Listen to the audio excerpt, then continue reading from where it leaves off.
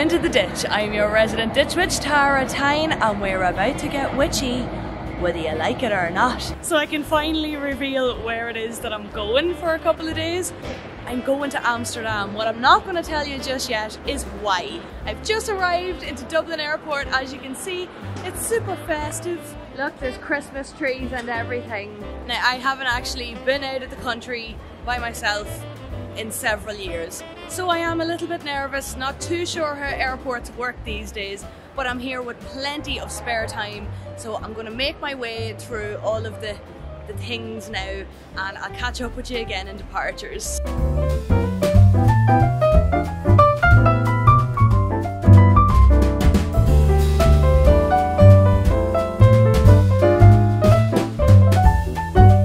Yeah, they're using Irish women in mythology to advertise Skoda cars. I don't know, and I nearly fell off the travelator trying to film it. So I got a pint to eat. I found a nice, quiet, safe place to sit down and relax until it's time for my flight, and I've got three Dublin plays by Sean O'Casey to keep me company. So see you on the other side.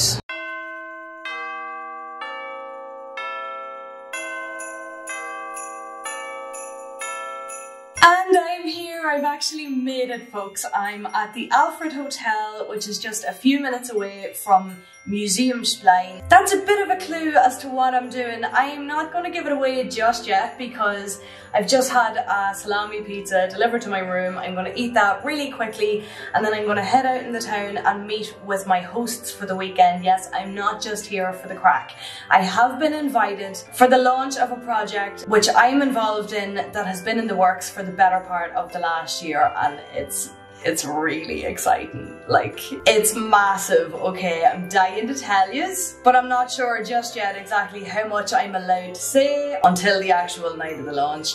There was a press launch today, so I think it's pretty much ready to go, but it's not actually going to be in the papers here until tomorrow. So I think I'd rather just bring you along for the excitement of what's actually happening. Yeah, I'm gonna bring my camera, I'm gonna film the whole lot. I have asked permission to do that. I've been told that that is fine. I think it's safe enough to tell you that it's happening at the Stedelijk Museum. But for now, I have to go eat my pizza and I'm looking a little bit worse for wear, so I'm gonna go fix myself up. You can imagine there's gonna have to be some refreshments had. I've also had quite a long day of traveling, so I'm totally on board for that. if I get a chance to film later, I will. But either way, I'll see you later on.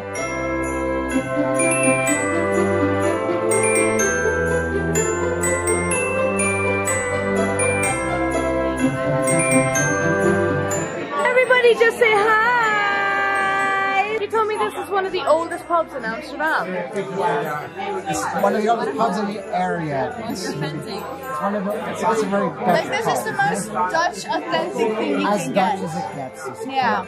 Give me a wave. Hey!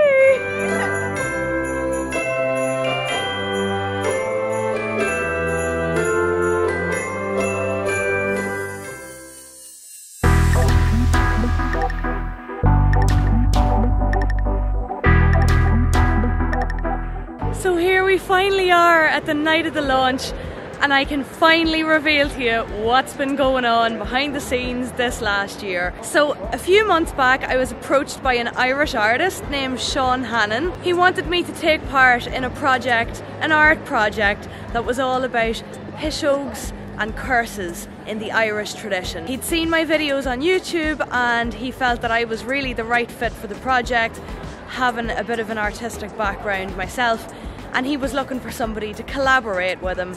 So that's exactly what I've done. I was also very excited to hear that the one and only Eddie Lenihan was also involved in the project. It's a bit of a dream come true for me to have a piece that I've been involved in exhibited in the same place where you can see work by some of my favourite artists like Van Gogh, Picasso, Chagall, Matisse, Andy Warhol, and Jackson Pollock. And I've been pinching myself, to be honest. A little bit afraid I'm gonna wake up and find out it was all a dream any minute now.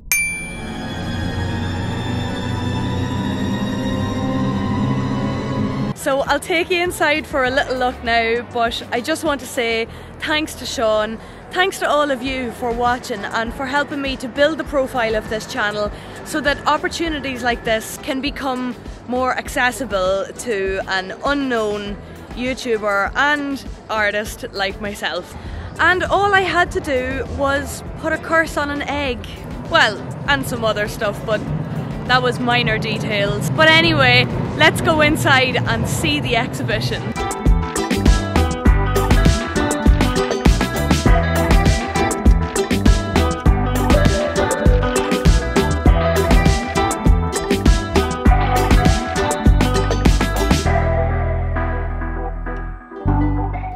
Amsterdam Biennial every two years at the Stedelijk Museum and today we are proud to open this year's version with a fantastic title, When Things Are Beings.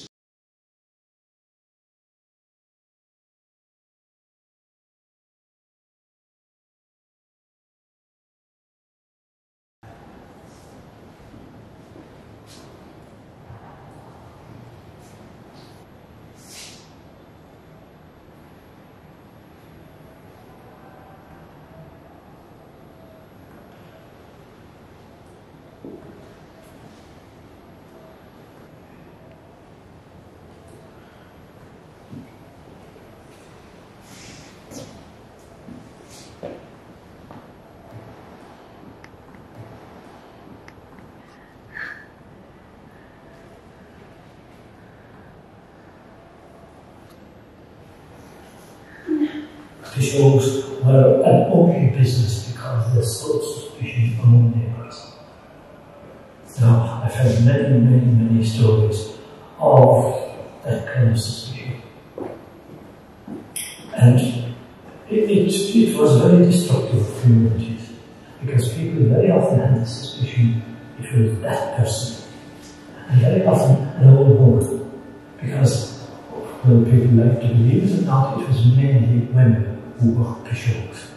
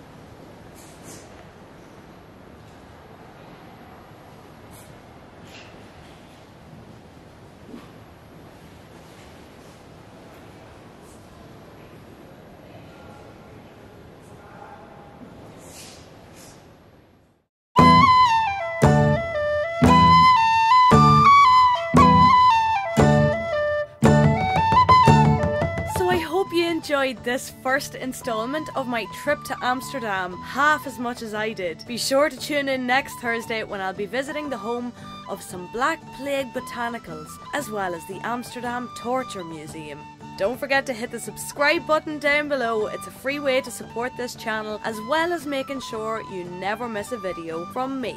Lastly, I'd like to say a massive thanks to Sean for giving me the opportunity to collaborate on such an inspiring piece, as well as to Beate, Esther, and Carol for making my trip so very wonderful.